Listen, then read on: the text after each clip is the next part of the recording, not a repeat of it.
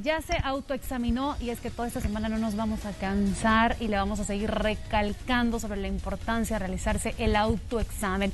Y bueno, hoy tenemos una entrevista muy especial, una invitada de lujo. Ella ha sobrevivido al cáncer de mama y hoy nos va a dar su testimonio. Ella es Sonia Paricio. Sonia, ¿cómo está? Bienvenida, qué gusto platicar con usted. Hola, bueno, muy buenos días. Muchísimas gracias por la invitación. Créame que para mí es un gusto, año con año poder acercarme a los medios o, poder promover de la manera que sea la concientización sobre el cáncer de mama, que nos debemos de cuidar, que debemos de estar siempre pendientes de nuestro cuerpo.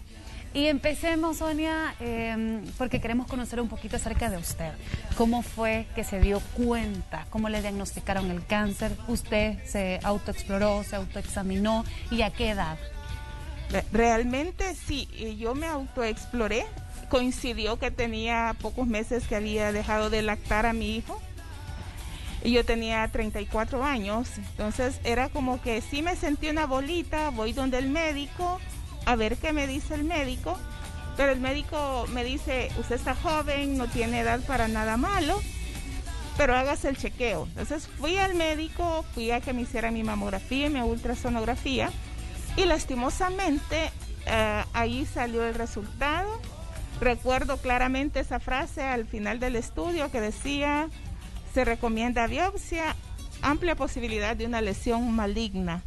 Entonces, a partir de ese momento que yo leí eso, comencé con la angustia, con incertidumbre.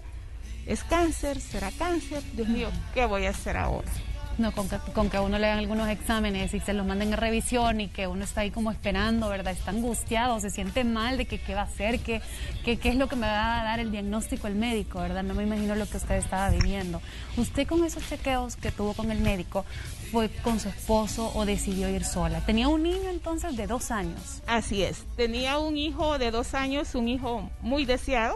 Digo muy deseado porque había tenido problemas para poder tener un hijo él tenía dos años cuando andábamos en búsqueda de más familia, como dice mi esposo, vamos donde el ginecólogo, a ver qué dice, a ver cómo está el organismo, a ver si podemos tener otro bebé. Y fue ahí cuando en búsqueda de la vida me encontré con el cáncer. Él siempre me acompañaba, realmente gracias a Dios tuve siempre el apoyo de él, el apoyo tanto físico como el apoyo emocional, el apoyo económico, todo eso que uno necesita cuando está atravesando una enfermedad y una enfermedad tan terrible como realmente es el cáncer. ¿Qué hicieron ese día cuando le dan la noticia? Bueno, ese día recuerdo que era próximo a las fiestas de la independencia. Me dijo el médico, tengo que hacerte extirparte ese tumor y mandarlo a biopsia.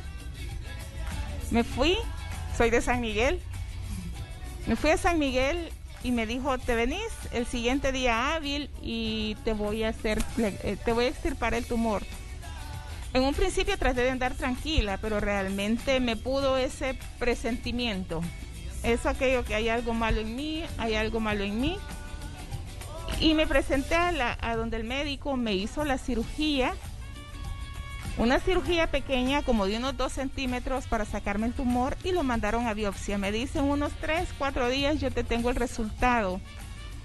Estaba esperando a mi esposo que llegara de su trabajo para que me llevara donde el médico a, traer los resultados con mucha angustia, pidiéndole mucho a Dios, pero con aquel, aquella corazonada de que, Dios mío, esto que me vas a mandar es duro.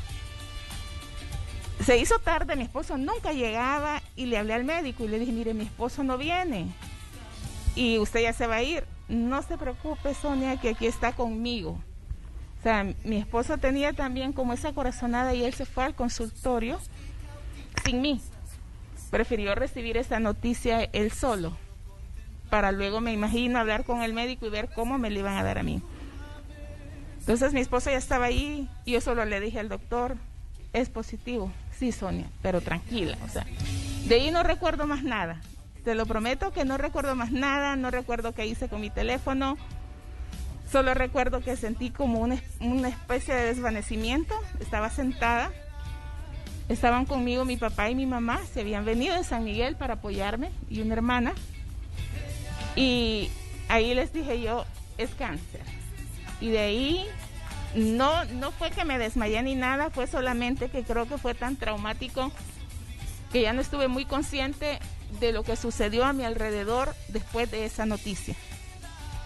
Fue así como, ¿qué pasó después que a mí me dijeron, Sonia, tenés cáncer? No sé, solo sentí que eh, sentí una gran preocupación, sentí una gran angustia, lo asocié con muerte, porque es lo que nos dicen. Y lastimosamente cuando me hicieron el examen, el quien me lo hizo, lo dijo, hizo, fue bastante cruel, siento yo. Me dijo, usted sabe que si usted tiene cáncer, usted se muere. Entonces, y resulta positivo a cáncer, entonces yo me quedo, Dios mío, ese médico tenía razón. No era mi médico, fue la persona que me hizo el examen, que no era la indicada para decírmelo, sin embargo, lo, hizo ese comentario que me marcó mucho y me preocupó muchísimo más, realmente. La noticia de tener cáncer es una noticia dura, es una noticia que cuesta asimilarla. Hablemos entonces acerca de la primer quimioterapia. ¿Cómo iba ese día? A mi primer quimioterapia después de la cirugía tuve una mastectomía radical, es decir, me extirparon por completo mi mama izquierda. Buscamos mucho qué seguía y bueno, era la quimio. Me fui sin mucho conocimiento realmente de lo que era una quimioterapia.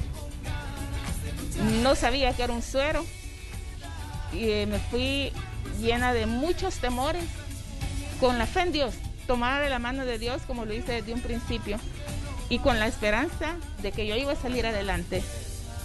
Me fui a esa quimio y comenzaron a hacerme la quimioterapia. Al llegar a mi organismo, la primera gota de uno de los medicamentos, que era el principal, me comencé a inflamar. Se me trancó por completo la respiración, no podía, y la garganta, o sea, se me, se me cerraron las vías respiratorias y estuve a punto de fallecer a causa de un paro respiratorio. Entonces, eh, bendito Dios, los médicos actuaron, me pusieron antiinflamatorios, me llevaron a cuidados intensivos, me sacaron de la crisis en ese momento, pero como me dice el médico, estuvo a una hebra o a un pelo, como decimos en buen salvadoreño, de fallecer a causa de esta reacción alérgica que le provocó la quimio. Entonces imagínense cómo fue para mí después el saber que yo era alérgica a esos medicamentos y que yo los necesitaba, porque si no el cáncer se iba a regar por todo mi cuerpo, igual yo iba a fallecer. Entonces la angustia para mí fue peor.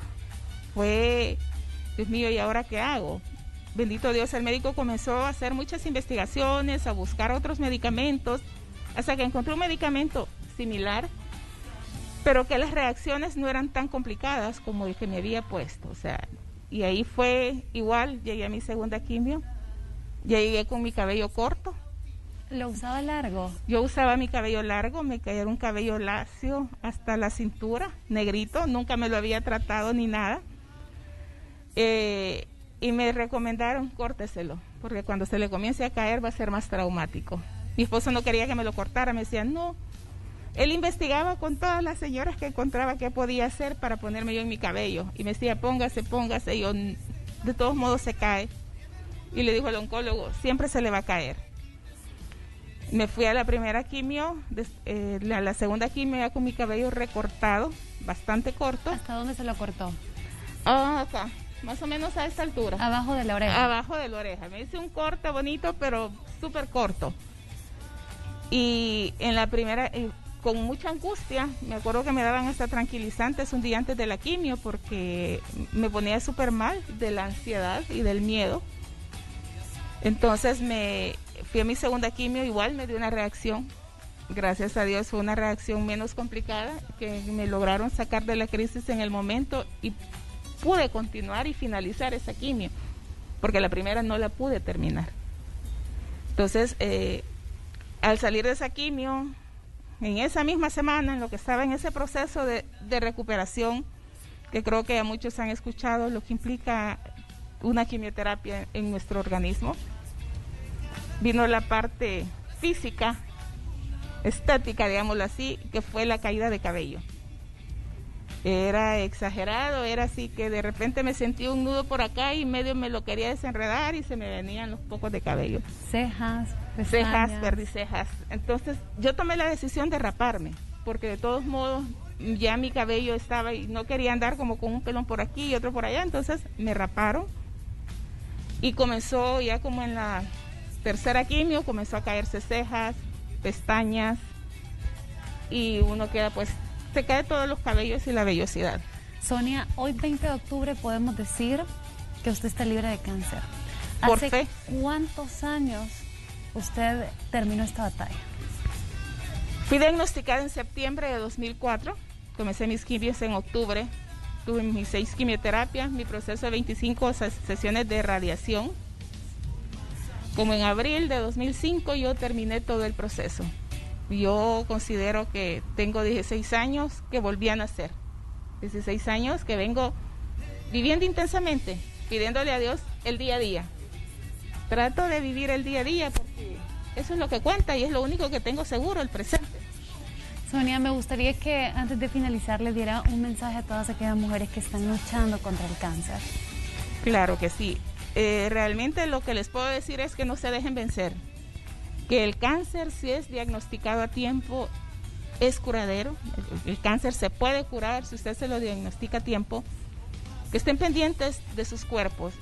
Que la primera anormalidad que ustedes sientan en una de sus mamas, visiten el médico. Es preferible que nos digan que exagerada a que vayamos a tener un, mal diagnóstico y que en el caso Dios les manda a ustedes ese mal diagnóstico.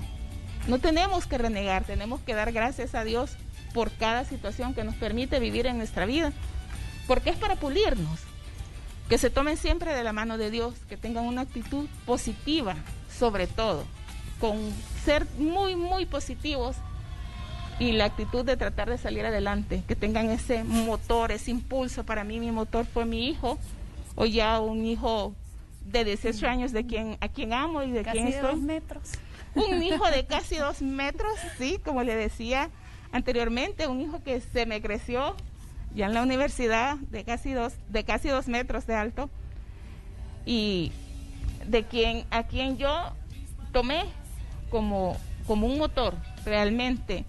Mi familia estuvo siempre a mi lado, fueron esos ángeles que me cuidaron, que procuraron que yo estuviera bien, que yo me tomara todo lo que les decían para que yo siempre estuviera en disposición para la siguiente quimioterapia. Entonces les digo, primero, que tratemos de prevenir, que ahí en la prevención está la diferencia entre la vida y la muerte, si lo podemos decir así. Que si estamos pasando por este proceso, que nos tomemos de la mano de Dios para Dios no hay imposibles. Él les va a dar a ustedes la fortaleza, Él les va a dar a ustedes esa confianza que van a necesitar para poder seguir adelante. Que nos rodeemos de las personas que nos aman. Evitemos aquellas personas que nos van a llegar a contar experiencias malas. No queremos experiencias malas. Usted tome como ejemplo experiencias buenas. Tome como, como ejemplo testimonios de personas que han sobrevivido al cáncer y que hoy están dando esa ese mensaje de, de, de esperanza, pues, porque realmente el cáncer puede ser curable. Muy bien, Sonia, muchísimas gracias. Gracias por estar aquí, por tomarse el tiempo también de hablar con nosotros y que sé que con su testimonio usted va a inspirar a otras personas a seguir luchando. Van a encontrar ese motor en su vida, ya sea su esposo, su familia, sus hijos, una amiga, alguien para que cada día sigan, sigan luchando. Sonia, mil gracias. Gracias a ustedes, muchas gracias. Y nosotros así con esta entrevista vamos a hacer una pausa y volvemos con más.